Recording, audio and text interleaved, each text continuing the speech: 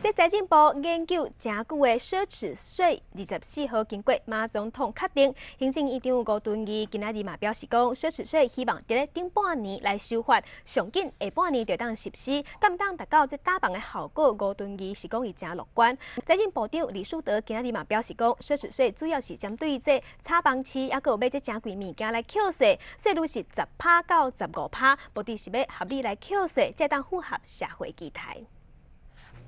马总统点头，买高价车花品、含炒房，即卖拢爱扣车花税。行政院长郭敦义嘛表示，台湾是模仿新加坡，只要买非自用主体，得一两档来转手，就爱来扣税，撇边投资含炒房。希望顶半年会当完成修法，后半年得当实施。现在目前是，呃，没有课税嘛？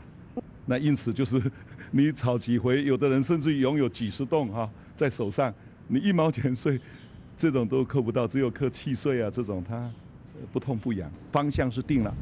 加花税项目包括不动产的交易，持有一档、含两档的转手的人，要扣百分之十到十五的税。啊，佮有买三百万以上的高价货物，以及选购配草即款五十万以上的保育类制品，啊，佮有五十万以上的休闲会员证，拢要扣百分之十的车花税。